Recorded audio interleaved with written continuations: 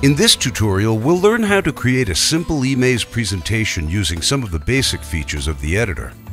Click on the large gray button to start a new presentation. Select a template out of the various 2D and 3D templates offered.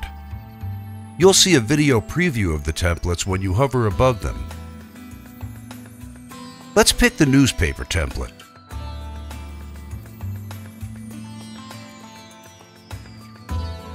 Replace the placeholder text with your own content. You can change the font size by dragging the bar on the text menu.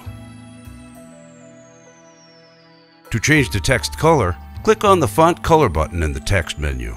You may then pick from one of the available colors in the palette for this theme.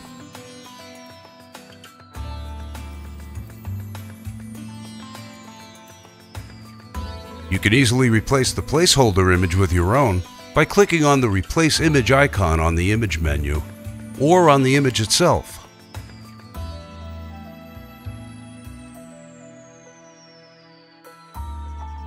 You may upload an image from your computer or paste an image link from the web.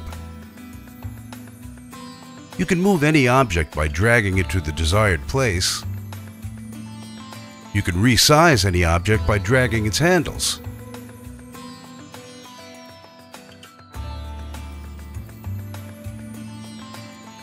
To remove any object, just select it and click the delete icon, or simply click the delete button on your keyboard. You may also add a video from YouTube by copying and pasting the video URL.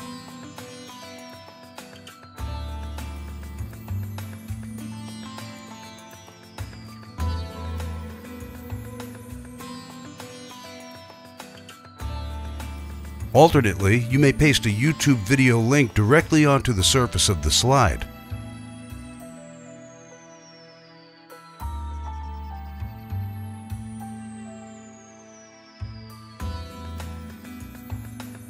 To add a shape, simply select one of the many options available in the Shape Gallery.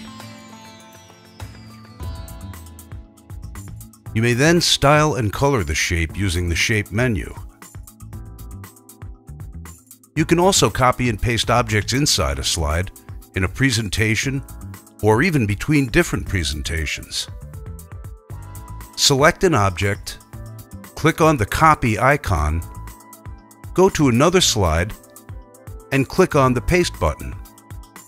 You can use the keystrokes Ctrl plus C and Ctrl plus P as well. While editing your presentation, you can quickly preview your work by clicking on the play button.